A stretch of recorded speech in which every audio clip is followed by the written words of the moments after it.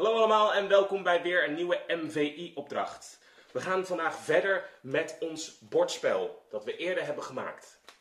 Want wat gaan we doen? We hebben namelijk vorige week gezegd dat er een aantal opdrachtplaatsen in je spel moeten zitten. Nou, wat we nu gaan doen is we gaan de kaarten maken die bij dat spel horen. Wat heb je daarvoor nodig? Twee A4'tjes, een schaar, een liniaal en kleurpotloden of stiften. Oké, wat ik wil dat je gaat doen, is dat je je A4'tje in zes vlakken verdeelt. Je hebt twee A4'tjes, dus in totaal wil ik dat je 12 kaarten gaat maken. Als je dat hebt gedaan, ga je op de ene kant schrijf je de opdrachten. Op de andere kant maak je leuke versiersels van de kaart. Let op, die achterkant moet lijken op de achterkant van je bordspel. Want als je dat doet, wordt het samen één stijl en wordt het voor de speler duidelijk dat die kaarten bij dit spel horen. Als je het goed doet, maakt het niet zoveel uit hoe die versiersels eruit zien. Die kunnen doorlopen.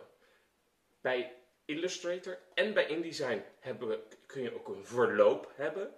Hoe dat er precies zit, daarvoor moet je even het filmpje kijken dat in de bijlage zit.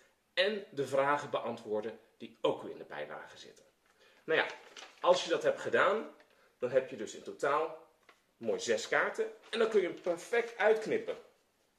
Ik ga het nu even doen. Ik knip deze heel erg mooi uit met mijn schaar.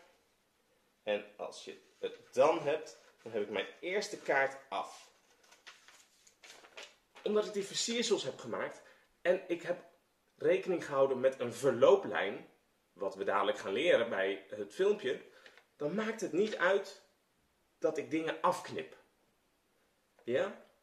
Dus in totaal ga je 12 opdrachtkaarten maken. Je gaat het filmpje bekijken van InDesign of Illustrator en je beantwoordt de vragen.